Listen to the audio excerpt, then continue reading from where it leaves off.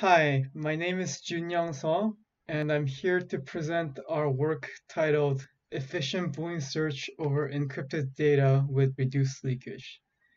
Uh, this is joint work with Sarvar Patel, Giuseppe Persiano, and Kevin Yeo.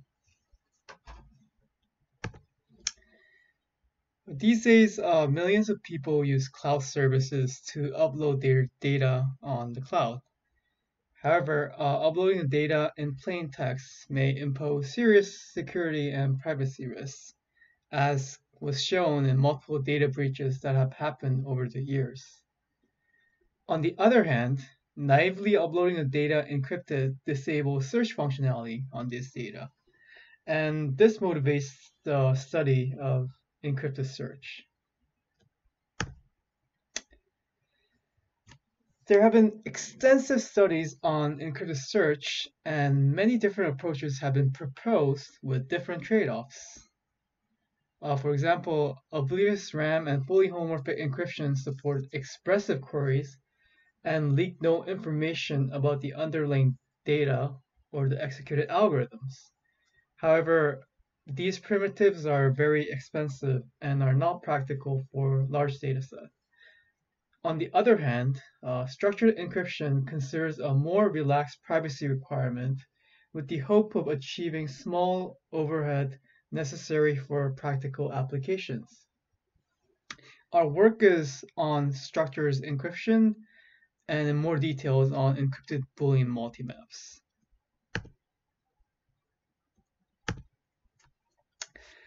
Structured encryption, which was introduced by Chase and Kamara, is a general cryptographic primitive that considers a scenario where a data owner, or uh, commonly referred to as a client, wishes to store an encrypted data structure on a potentially untrusted server, such as a cloud provider.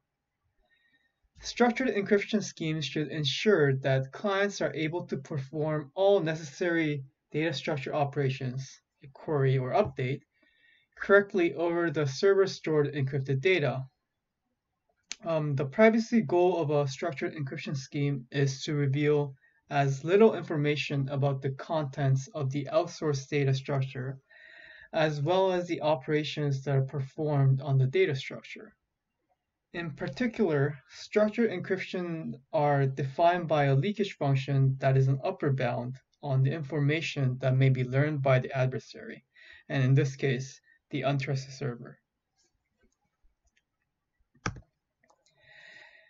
A multi-map data structure maintains a set of labels to uh, value tuple pairs, where each label comes from the label universe U and each value comes from the value universe V. The multi-map data structure supports the query operation that receives a label from the label universe U and returns the value tuple associated with the given label. Uh, in the example, mm of L1 returns a tuple v1, v2, and v3. For our purpose, we consider the extended Boolean multimap that enables more complex query operations beyond simply retrieving the value tuple associated with the label. A Boolean multimap is associated with the supported class of Boolean formulae queries over labels. For our purpose, we only consider conjunctions and conjunctive normal forms. Uh, loosely speaking, logical AND corresponds to set intersections, while logical OR corresponds to set union. In the example, mm of L1 and L2 returns V1 because the intersection of V1, V2, V3, and V1 and V4 is V1.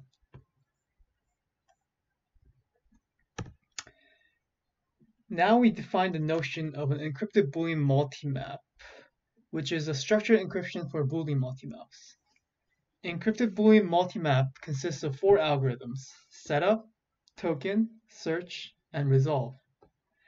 The setup algorithm is executed by the client and takes as input the security parameter and the Boolean multimap, and outputs an encrypted Boolean multimap and a master secret key.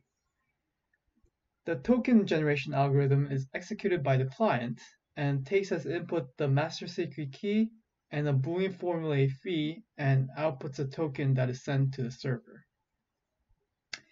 The search algorithm is executed by the server and takes as input the encrypted Boolean multimap in the token and outputs an encrypted answer that is sent back to the client. Finally, the resolve algorithm is executed by the client and takes as input the master secret key and the answer from the server and outputs mm of v, the plaintext elements in the multimap. For encrypted Boolean multimaps, we utilize the same security notions as typically done in structured encryption using uh, leakage functions. Uh, the adversary's leakage is upper bounded by a pair L setup and L query of leakage functions. The leakage function L setup provides an upper bound on the knowledge gained by the adversarial server when given the encrypted Boolean multimap. L query is an upper bound on the information gained by the server when receiving a token from the client generated using the token algorithm and when applying the token on the encrypted multimap in the search algorithm. We use a simulation-based approach to formalize the security notions. In the setup phase of a real experiment, the adversary sends a multimap to the challenger, and the challenger will encrypt it and send it back to the adversary. In the query phase, the adversary sends a polynomial number of Boolean formulae to the challenger, and the challenger sends back the encrypted token. We consider the adaptive setting where the adversary can observe previous tokens sent from the challenger before sending the next Boolean formula. In the setup phase of an, ideal experiment, the adversary sends the multimap to the challenger and the challenger sends the setup leakage of the multimap to the simulator. The simulator generates the encrypted Boolean multimap from the setup leakage and sends it back to the adversary. In the query phase, the adversary adaptively sends a Boolean formula to the challenger, and the challenger sends a query leakage to the simulator. The simulator generates the token from the query leakage and sends it back to the adversary. We say that the encrypted Boolean multimap is adaptively secure with respect to the setup and query leakages if the real experiment and the ideal experiment are indis indistinguishable to the adversary. We now survey some of the existing constructions of encrypted Boolean multimaps. Cash et al. present a OXT protocol that is a non-interactive encrypted Boolean multimap. OXT is able to handle all, all conjunctive queries and Boolean queries in searchable normal form, but for other queries, it may end up in uh, linear search time. Furthermore, the core cryptographic operations in OXT are expensive public key operations, um, exponentiations in a Diffie-Hellman group, and hence may end up being slow in practice. Paz et al. present BlindSeer that handles all arbitrary Boolean queries with worst-case sublinear search time, unlike OXT. Also, the majority of the core cryptographic operations in BlindSeer end up being symmetric key operations. However, the search algorithm still ends up being slower than OXT as the secure computation techniques require multiple rounds of client-server interactions. Kamara and Moataz present BIEX that combines several good properties of both OXT and BlindSeer. In particular, uh, BIEX is the first non-interactive encrypted Boolean multimap that is able to handle arbitrary Boolean queries with worst-case sublinear search times and non-trivial leakage. Furthermore, the search algorithm of BIEX only utilizes symmetric key primitives and hence ends up being faster than those of OXT and BlindSeer. In our work, we present new encrypted Boolean multimaps which are adaptively secure, non-interactive, have similar or better efficiency, and have reduced leakage compared to prior works. In particular, we obtain new constructions for handling conjunctions and CNF queries with reduced leakage and optimal communi communication complexity. Furthermore, our scheme only uses symmetric key op primitives and ends up being more practical than prior works. Um, to compare leakage, we introduced the notion of a base query setup leakage. Informally, base query set of leakage is just a set of Boolean formulae that the adversary can combine to learn volumes of more complex queries.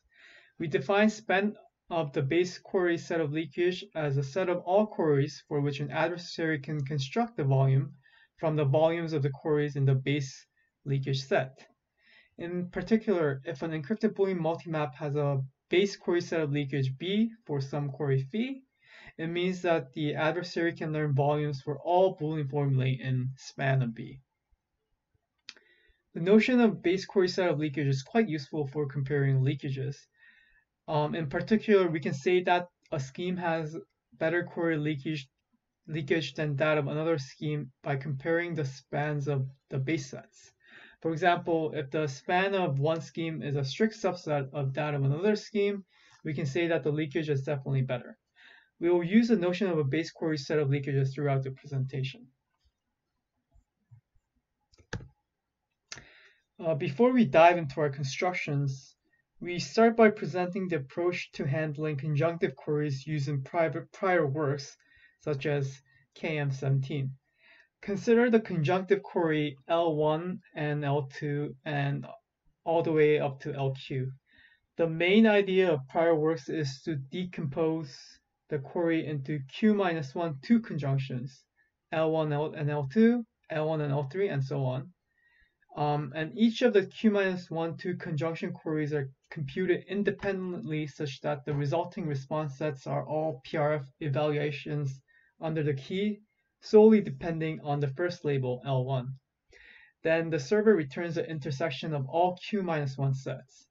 It is easy to see that the response size is optimal this way. However, there are several drawbacks to using this approach. First, the scheme leaks the volumes of the q-1 two conjunctions. Since the response sets are PRF evaluations under the same key, the server can learn volumes of more complex queries. In general, the server can compute any Boolean function over the response sets. That is, the base query set of leakage is L1 and L2, L1 and L3, and up to L1 and LQ. Second, in terms of the computation costs, the server must perform computation on the order of the sum of the size of the response sets from the two conjunctions. This seems quite wasteful as the response set of MM of L1 and L2 is already a superset of the final response.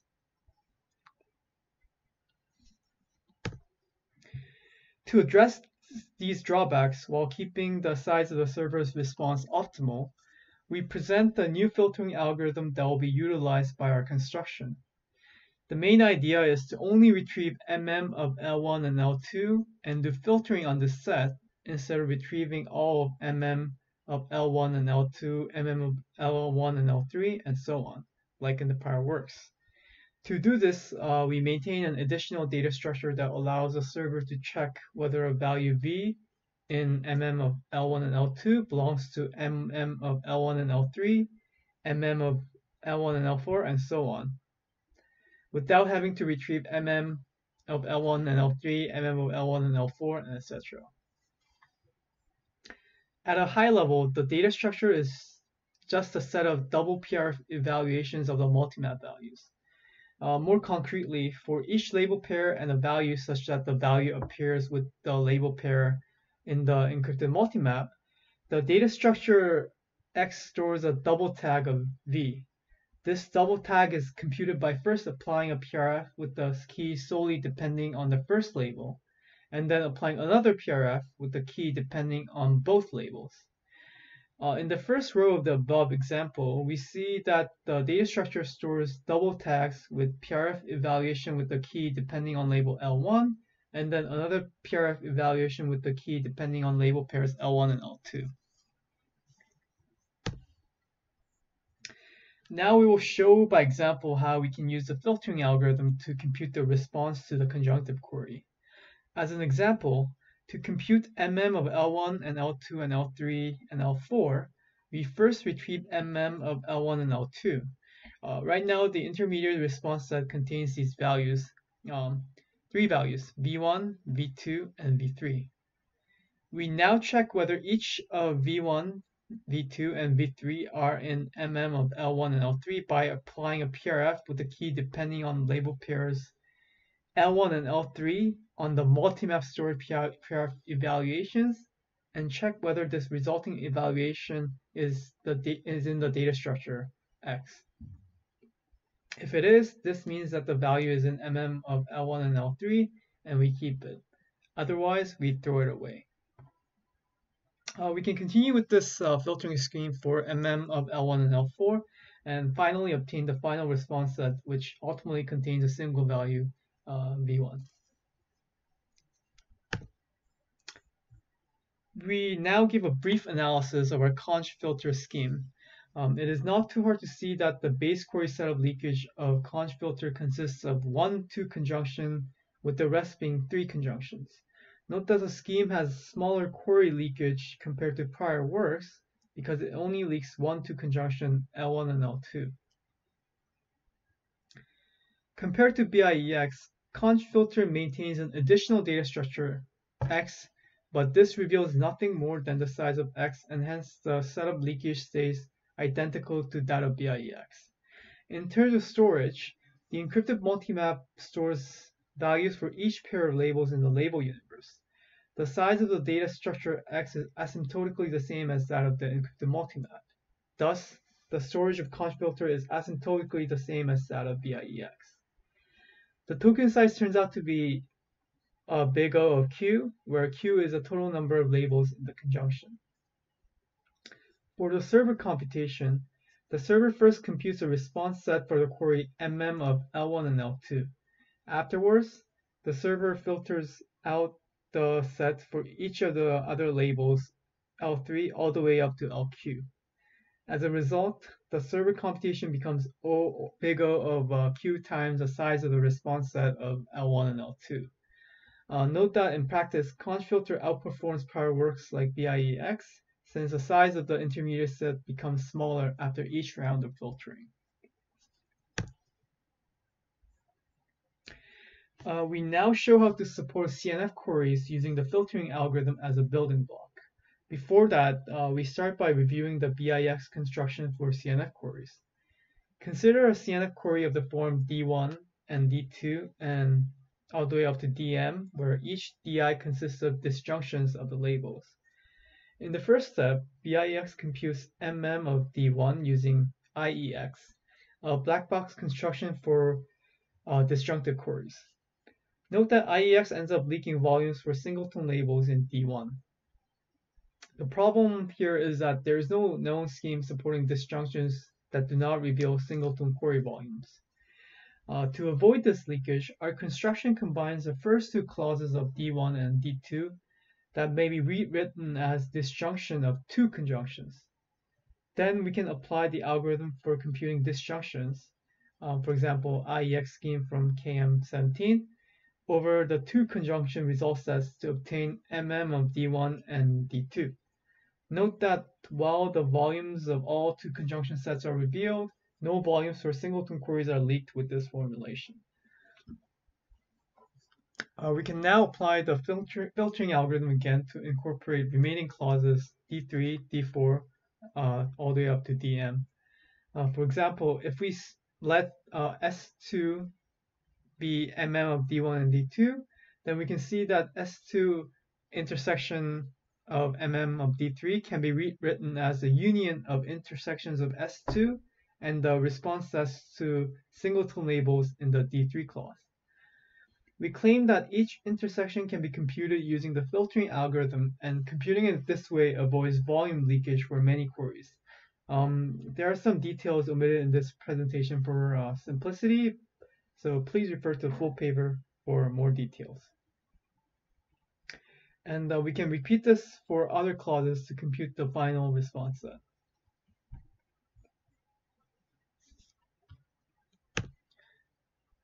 We now give a brief analysis of our CNF filter scheme. Uh, we claim here without proof that the span of the base set of query leakage of CNF filter is a subset of the span of the base query set of leakage of BIEX. Um, this means that our scheme leaks no more than BIEX. Since the set of construction is identical to the conj filter scheme, uh, the of leakage and uh, and storage stays identical identical to those of a conj filter presented earlier. In particular, this means that the storage stays asymptotically the same as that of BIEX. In our experiment, we show that our scheme just incurs 20% more storage overhead compared to BIEX. We can upper bound the token size um, by order a big O of Q square, where, e, where Q is a total number of labels across the uh, M disjunction clauses. Uh, in terms of the server computation, uh, we can upper bound it as um, big O of Q squared times um, the size of response from um, of MM of D1 and D2, where Q is the total number of labels across the M disjunction clauses. Note that our scheme outperforms BIEX in practice because in many cases the size of the response set of conjunctions of the two clauses is much smaller than the size of the response set of a single clause. Uh, we now present some of the results from our experiments. Um, BIEX in KM17 is implemented in Java while our schemes were implemented in C++. And in general, um, C++ is much faster than Java. So um, we implemented BIEX in C++ for fair comparison. The table shows uh, micro benchmarks for the search time of CNF filter and BIEX on randomly chosen queries of the form D1 and D2 and D3, where each DI is uh, four label disjunctions. Um, the data set is on the um,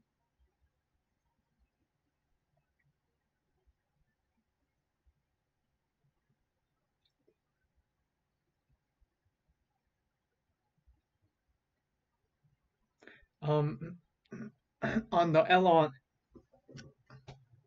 yeah. Enron dataset.